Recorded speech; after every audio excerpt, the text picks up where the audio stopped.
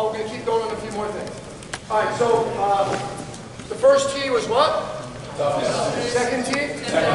Third T is technique. So here's what I see. I go along the country, around the country, bring guys in. You know, some guys we have come into our program, top recruits in the country, they're so fast. Their speed is unbelievable, how fast they are.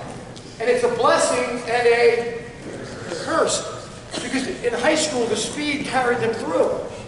The third T, let's say you love to lift weights, you eat weights in high school, or you shave since your freshman year, and you're just way stronger than everybody. Strength becomes a blessing and a curse because a lot of times we'll use it to dominate our opponent, but we're not learning what we should be learning. So the third T is technique.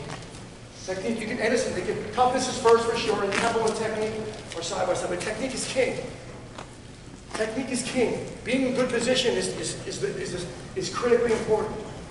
Technique always matters. If you're really fast, assess your position when you're getting in. What you, how are you hand fighting? How are you getting through his hands? All right, so let's keep going. So we're gonna go. Uh, we're gonna go. Oh, sorry, you look like this guy. Come here. Yeah, same body. Same. All right, so I got a wrist. I got an inside tie. Now watch.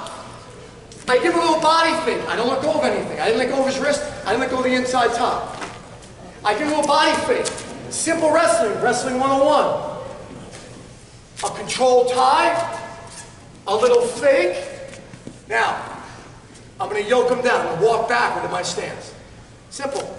I push, I get a little fake, I, I notice his hips come up a little bit. I'm just going to pull him down. You have two options. Stay on the wrist and pull it. Watch my lead toe, please. Watch my lead toe. Notice how it stays behind my knee. I'm not doing this. It stays behind my knee. I pull him down into the front headlock. Run on him. Keep his head down. Run on him. Keep his head down. If he doesn't bite your fake, so in this scenario, when I faked, he bit on it. He lowered. He got lower, so I just pulled him right into my armpit. Okay, if he doesn't bite on it, I gotta release the wrist. If he bites, don't release the wrist. I'm assessing. I'm, I'm so focused on what I'm doing out here. I, let me ask you something. Anybody here have a house that has a garage? Does anybody have a garage door opener? Does anybody park their car in a garage? Okay, so here's what I'm talking about. When you're out there wrestling, you're so focused on the next position. In your garage, let's say you get in your car, you start the car, and you open the garage door opener. You click the button, and the garage door starts to come up. Do you pull out? What do you do? You wait.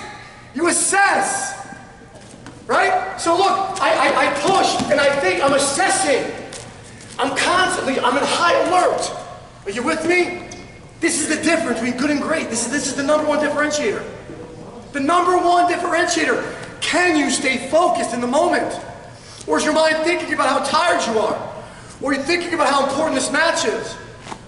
Other than just what? Just wrestle. Speaking about the wrestling. Inside wrist. Look, I get a little fake. He doesn't buy it. Look, he doesn't buy it. See his head height? I, I can feel his head height. I don't fake and then try to shoot. I'm going to run into his head and his hands. I fake, I assess. Oh, it's right there. Pull him down. Run him. Questions? I know it's basics, but it's really important. Stay in position, stay powerful, push him backward, fake. Either pull him directly down or snap him. One, two, three.